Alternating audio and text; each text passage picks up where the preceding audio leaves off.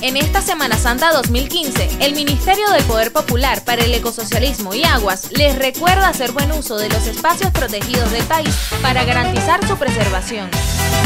Al llegar, recuerda registrar tu entrada al parque. Es muy importante que lleves contigo los desechos que generes. Acampa únicamente en los sitios establecidos.